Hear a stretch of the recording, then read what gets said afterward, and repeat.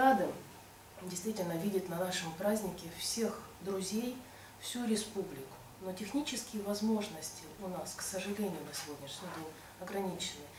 Первый, первый наш, первая попытка да, создать этот праздник, это действительно первая попытка. Поэтому просим всех ну, с вниманием и с пониманием относиться к этой ситуации. Что касается каким образом все, опять же, в средствах массовой информации возникает некоторая критика по поводу того, как мы приглашаем на свой праздник приглашенных. Да? Для того, чтобы объять э, нашу республику, для того, чтобы жители понимали, что сегодня мы живем в угольном регионе. Регион действительно набирает мощь. Его социальные проекты и промышленные проекты заслуживают уважения и внимания уже на федеральном уровне, не только на республиканском.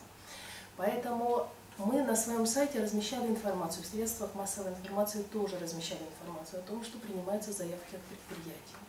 Оргкомитет работал. После того, как, э, в общем-то, все предложения превысили какие-либо возможные квоты, да, а техническая возможность стадиона Саяны ограничена, в связи с этим, э, в общем-то, заявки временно прекратили, и были объявлены и творческие конкурсы. И сегодня оргкомитетом подведены итоги. 33 творческих работы являются победителями нашего конкурса. И 33 победителям мы вручаем, как и было обозначено в условиях конкурса, по два билета пригласительных на наш концерт. Таким образом, более того, дополнительно еще, что было сделано в средствах массовой информации, радиостанции, вышли с предложением о том, что проводить конкурсы среди населения самостоятельно. Тоже было выделено количество билетов. И на сегодня на радиостанциях еще сегодня разыгрываются эти билеты, и это действительно радиостанции привлекают интересных людей и работают уже тоже с нашими гражданами. Точно так же, конечно, понятно, что на этом празднике будут присутствовать работники разреза Аршавовских, все причастные, все приглашенные лица.